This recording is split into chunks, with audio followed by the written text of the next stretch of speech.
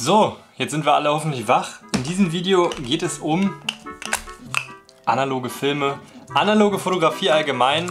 Und zwar kriege ich bis heute immer noch Fragen, die wirklich, sage ich mal, basic sind und ich glaube deswegen kriegt man auch oft keine Antworten. Also sowas wie, wie kriege ich denn mein analoges Foto dann aufs Handy drauf? Oder wie funktioniert das überhaupt? Kann ich den Film einfach rausnehmen, nachdem ich ihn fotografiert habe? Deswegen dachte ich mir, ich mache heute mal ein Video, das nennen wir mal das Analog-ABC, wo ich euch wirklich nochmal so von, wo kauft ihr euch eine analoge Kamera, wo kauft ihr Film, welchen Film, wie lasst ihr den entwickeln und warum und wie lasst ihr den scannen und wie kriegt ihr das aufs Handy?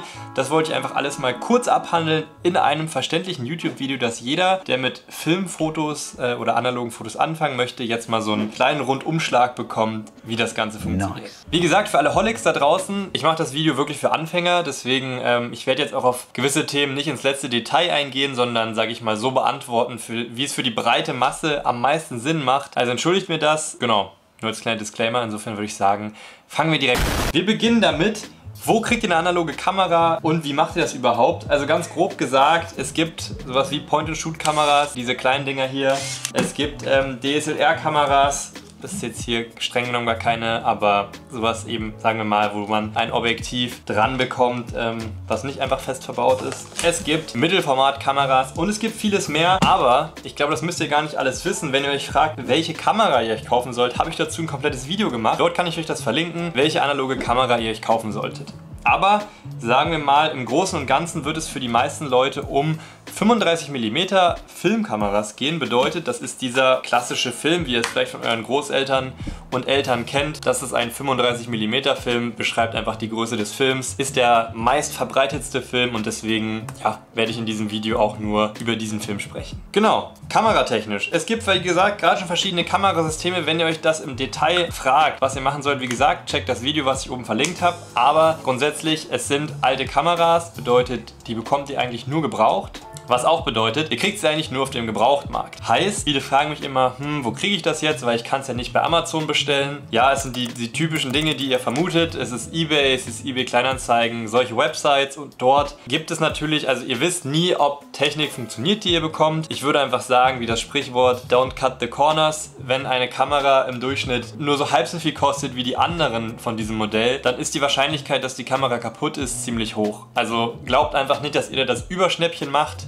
niemand will euch was schenken. Orientiert euch an den Marktpreisen und wenn euch das einer für 10 Euro weniger gibt, dann mag das sein aus Nettigkeit, aber niemand wird euch eine Kamera für ein Drittel oder den halben Preis verkaufen dann ist da irgendwas faul. Dort, wie auch immer, insgesamt beim Gebrauchtkaufen, kauft, wenn es geht, entweder mit PayPal, mit Käuferschutz, dann seid ihr abgesichert. Kauft über die offiziellen Bezahlsysteme. Es gibt auch über eBay Kleinanzeigen inzwischen eins, wo ihr abgesichert seid. Oder holt es ab, wenn es geht. Probiert es aus, guckt, ob das Gegenüber irgendwie ein vertrauenserweckender Mensch ist und dann solltet ihr eigentlich safe sein. Es gibt aber auch ein paar Shops, wo ihr das kaufen könnt. Bedeutet, wo ihr gebrauchte Technik nicht neu, aber sozusagen von einem Händler kaufen könnt. Da gibt es einmal auf Ebay selbst, auf dem klassischen diverse große Fotogeschäfte, die dort eigene Accounts haben. Dann gibt es Websites wie ähm, Safelight zum Beispiel aus Berlin. Die verkaufen gebrauchte Kameras, die getestet sind. Oder auch Click und Sur. Findet ihr alles unten in der Beschreibung. Das wären jetzt noch offizielle Webseiten, falls euch das ganze Ebay-Ding zu gefährlich ist. Aber natürlich bei einem Händler zahlt ihr etwas mehr als auf dem Gebrauchtmarkt, weil der Händler muss auch seine Marge machen. So, jetzt habt ihr den ersten Schritt geschafft. Ihr besitzt jetzt eine analoge Kamera und jetzt fragt ihr euch, wie kriege ich hier passenden Film, der hier reinkommt, damit ich Fotos machen kann. Welchen sollte ich dort kaufen, etc. Auch hierfür gibt es ein ausführliches Video von mir, verlinke ich euch hier oben. Dort könnt ihr das auschecken, wie gesagt, dort ist eine ausführliche Erklärung. Ansonsten, wie gesagt, wir bleiben bei 35mm Film. Es gibt, ganz grob gesagt,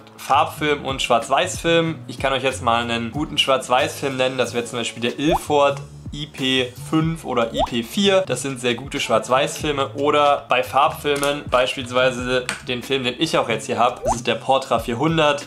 Den gibt es auch als Portra 800. Die Zahl steht für die Lichtempfindlichkeit. Findet ihr alles im ausführlichen Video, aber Portra als Farbfilm ist sehr, sehr gut. Oder ähm, zum Beispiel Ilford eben für Schwarz-Weiß. Insgesamt ist wichtig, bei so einer analogen Kamera entsteht das gesamte Bild eigentlich durch den Film. Bedeutet, ihr solltet nicht beim Film sparen, sondern lieber bei der Kamera. Insofern kauft nicht den billigsten Kodak Gold, also könnt ihr machen, aber ich würde euch empfehlen, kauft lieber einen hochwertigen Film, wie zum Beispiel ein Portra und nehmt die etwas günstigere Kamera da werdet ihr langfristig besser mitfahren. Auch hier gilt wieder die üblichen Verdächtigen. Wo kriegt man Film? Ähm, in Drogerien, aber seitdem Film so gehypt ist seit ein paar Jahren, könnt ihr das vergessen. Also früher gab es bei DM und bei Rossmann Film, allerdings auch nur die günstigen. Also jetzt nicht der ideale Anlaufpunkt, aber nicht jeder hat ein Fotogeschäft, weil Fotogeschäfte eurer Wahl haben sehr oft auch eine Auswahl von analogen Filmen. Also guckt einfach mal, was bei euch im Umkreis ist. Zum Beispiel hier in Berlin, wo ich wohne, gibt es sehr, sehr viele Möglichkeiten. Wieder Safelight, es gibt Fotocotti, es gibt Foto Impex, es gibt, boah, es gibt einige mehr, es gibt Fotomeier, es gibt viele Kamerageschäfte hier, die auch analogen Film verkaufen. Und online gibt es natürlich auch ein paar Möglichkeiten, obwohl das immer schwieriger ist, weil es da schneller ausverkauft ist. Äh, Foto Impex ist da so die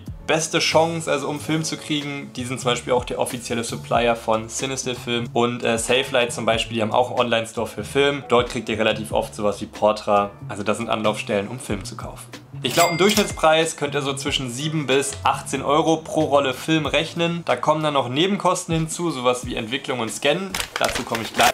So Freunde, da äh, hat die Kamera aufgegeben, beziehungsweise die Datei ist weg, deswegen jetzt äh, neues Outfit. Aber es geht weiter und zwar, ich habe euch jetzt alles erklärt, was für eine Kamera, was für einen Film, wie ihr den Film da reinbekommt, was dann passiert. Und jetzt ist natürlich die letzte Frage. Ihr habt den Film vollgeschossen. Was macht ihr jetzt mit diesem Film und wie kriegt ihr diese Bilder am Ende dann aufs Handy? Weil ich glaube, das ist ja die Frage, die ich jedenfalls am häufigsten bekomme. Und deswegen gehen wir da jetzt schnell durch. Wichtig ist, wenn ihr euren Film, also so sieht der aus, wenn er neu ist, aber wenn ihr ihn schießt, dann rollt er sich in der Kamera auf.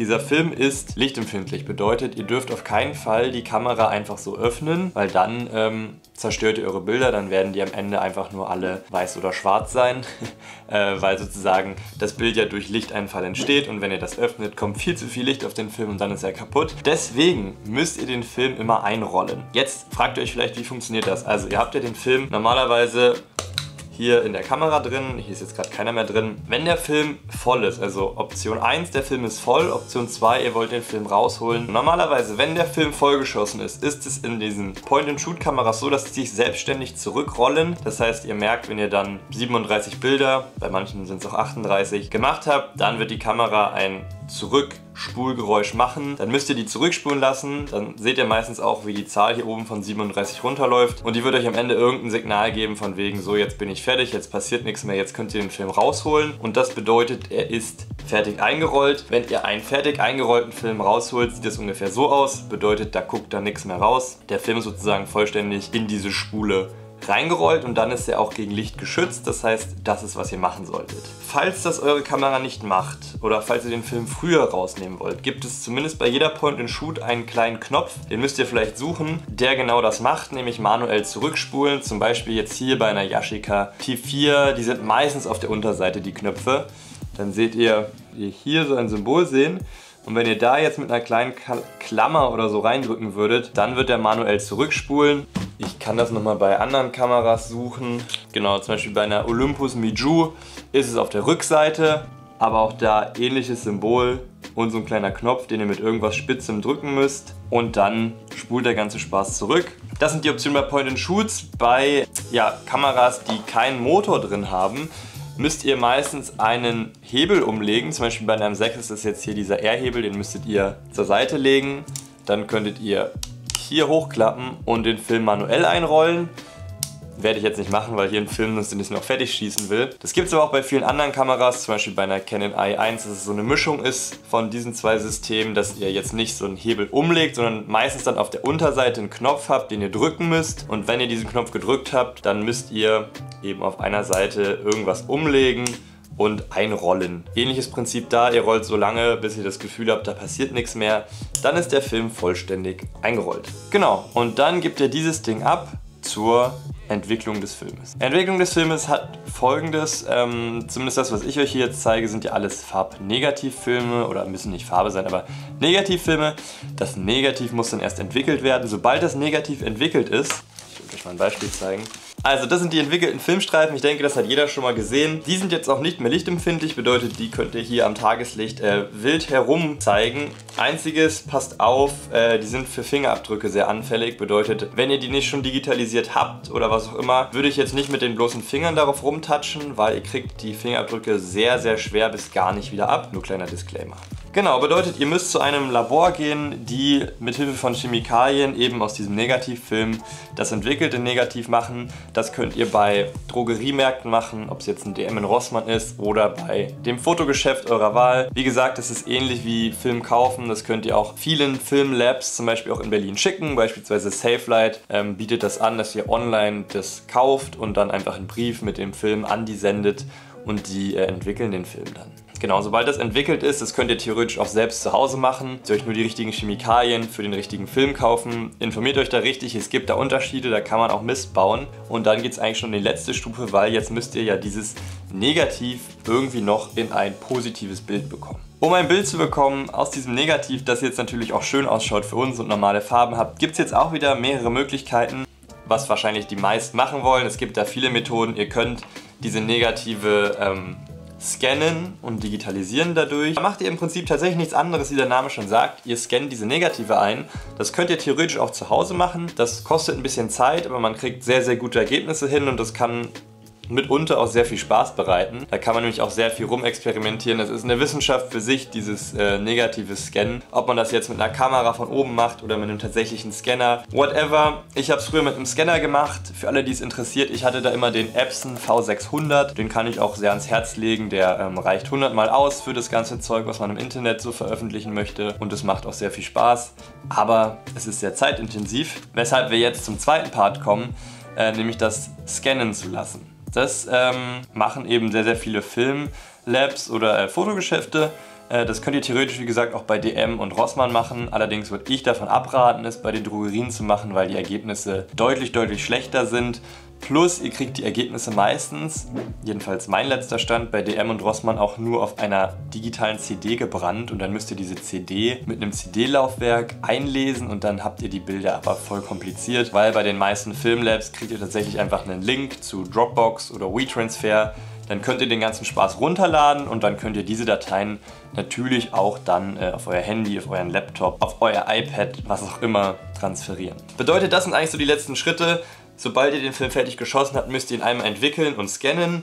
Normalerweise würde es auch als Doppelpack verkauft. Ich habe es jetzt nur einzeln aufgedröselt erklärt. Also ihr könnt zum Beispiel auch sagen, ich gehe nur zu Rossmann, um den Film entwickeln zu lassen, weil ich nicht selbst die Chemikalien kaufen möchte und scanne das dann selbst zu Hause. Oder ihr sagt, ich lasse es bei Rossmann entwickeln und schick's dann zu einem Lab in Berlin, die es nur scannen. Oder ihr sagt, ich schick's direkt zu einem Lab, also den Film, und sagt, entwickeln und scannen bitte. Dann machen die alles und dann kriegt ihr am Ende nur noch einen Link mit einem Download und dann habt ihr die ganzen Bilder auch schon in der digitalen Form. Ja, das wäre es eigentlich gewesen. Ich hoffe, ich konnte einige Fragen beantworten mit diesem Video. Es ist doch etwas ausführlicher, aber ich wollte alles so ein bisschen mal anreißen und äh, ja, man kann manche Themen einfach nicht in zwei Minuten erklären.